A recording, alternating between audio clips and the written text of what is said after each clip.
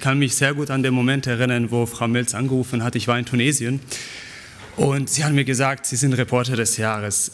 Ich hatte ganz, ganz, ganz wenig Zeit, zu, mich zu freuen und zu sagen, wow, wie schön ist das, weil ich auf einer Recherchereise war. Und genauso war das gesamte letztes Jahr.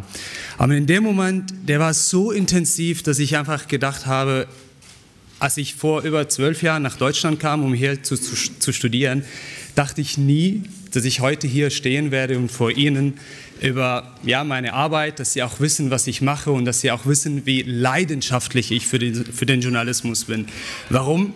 Weil ich immer wieder in Ländern unterwegs bin, wo ich merke, wie wichtig der Journalismus ist, wie wichtig das ist, dass wir Menschen zuhören.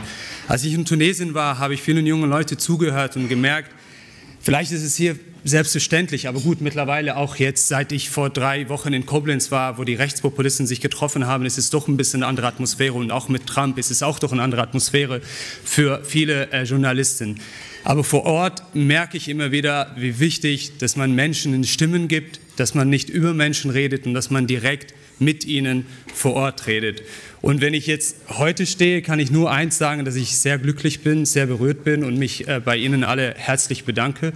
Und natürlich stehe ich dann immer im Vordergrund als Moderator, also als Reporter, aber da steht auch ein Team dahinter. Dieses Team ist nicht heute mit dabei, aber ich möchte auf jeden Fall Danke an das Team sagen. Sie unterstützen mich jeden Tag.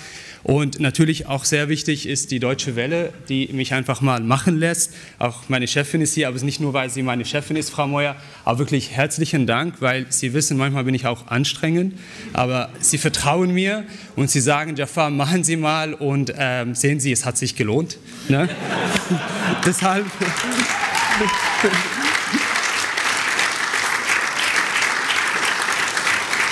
Danke. Und auch ich freue mich auf die gute Zusammenarbeit mit Ines Pohl. Auch sie wird bald hier Chefredakteurin sein. Ich hoffe, dass du auch weiterhin auch stolz auf uns, auf das Team, auf Shabab Talk sein kannst. Und ähm, ja, vielen Dank. Ich habe einen Wunsch hätte ich noch. Ich habe äh, meine Eltern sind in Beirut und ähm, ich mache sehr viel und bin sehr viel unterwegs. Aber als ich gesagt habe, ich bin Reporter des Jahres in, in Deutschland, das war für sie schon sehr, sehr was Cooles. Und deshalb habe ich dann ihnen versprochen, dass ich auch jetzt gedanklich ihnen einfach Danke sage auf Arabisch und dementsprechend so Schukran an meine Eltern, weil die sind jetzt mit mir und ich hätte mir gewünscht, dass sie da sind. Nochmal herzlichen Dank an Sie alle. Es freut mich sehr. Danke.